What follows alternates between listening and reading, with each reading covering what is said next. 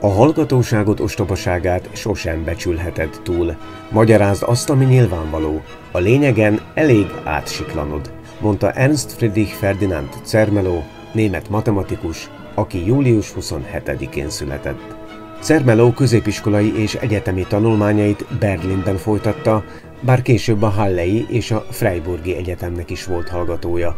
A matematika mellett a fizika is érdekelte, Berlinben Max Planckkal is dolgozott. Cermelo a doktori disszertációját variációszámításból írta, majd Hilbert hatására halmazelmélettel kezdett el foglalkozni. Igazolta, hogy minden halmaz jól rendezhető.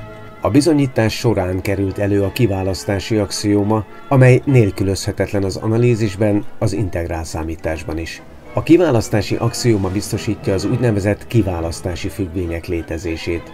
A kiválasztási függvény olyan leképezés, amelynek az értelmezési tartománya tetszőleges nemüres halmazokból áll, és minden egyes nemüres halmazhoz hozzárendel egy elemet az adott halmazból, azaz minden halmazból kiválaszt egy elemet. Ez az állítás a halmazelmélet Cermelo-Frankel féle axioma rendszerének egyik eleme lett. Az euklideszi geometria párhuzamossági axiomájához hasonlóan viselkedik, ugyanis nem igazolható és nem is cáfolható.